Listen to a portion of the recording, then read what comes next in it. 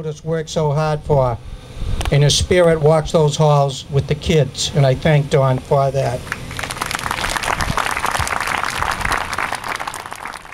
Hi, I'm Jermaine Lanzikos, been a resident of Bridgewater since 1950, 1949. I'm a cancer survivor of seven years, and I am delighted to see the wonderful response to our Relay for Life activity this week. It has grown every year. It's wonderful to see so many folks are surviving. Yes, this is the kind of celebration.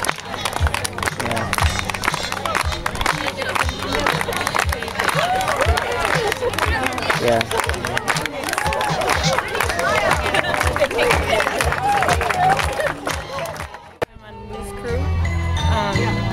I started the team a few years ago, I was the, the team captain. This year, my sister's helping me out because uh, my cancer returned, and I wasn't. I didn't feel I was strong enough to do it. Store We do the relay to give back to the American Cancer Society for what they've done for me.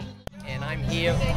My, my father uh, died of lung cancer, and my uncle died of uh, prostate cancer, and I'm here to uh, celebrate uh, their, uh, well, celebrate. I'm also a survivor of prostate cancer, and I'm here in representing Team Scanlon, and I'm very happy to be here.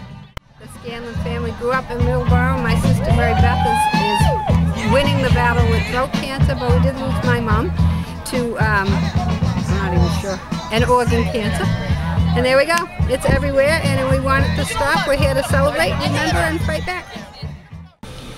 And we got to enjoy my son for two more years because of the work that you people did and these kind of fundraisers that help researchers come up.